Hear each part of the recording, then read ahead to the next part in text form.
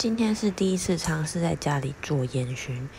之前到拍摄的店家看过制作过程，都觉得厨房都是烟，很可怕。那今天这次不但过程都没有烟，然后中间有出现淡淡的木头香气，还蛮舒服的。如果你跟我们一样是肉食主义的话，还蛮值得买的。